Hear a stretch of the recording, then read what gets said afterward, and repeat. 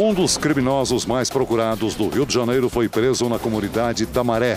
Edvanderson Gonçalves Leite, o Deco, é o chefe do tráfico na Cidade de Deus. Duas semanas atrás, numa operação na comunidade, um helicóptero da polícia caiu e matou quatro PMs. Nos últimos 20 anos, esta é a quarta prisão do traficante. A Agência Nacional de Saúde suspendeu a venda de 69 planos de saúde de 11 operadoras por causa da reclamação dos clientes. As empresas só poderão comercializar novos planos depois de regularizar o atendimento de quase 700 mil beneficiários.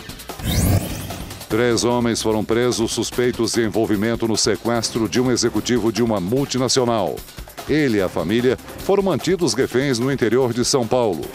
O plano da quadrilha era roubar uma carga de aparelhos eletrônicos e celulares. As vítimas foram liberadas sem ferimentos.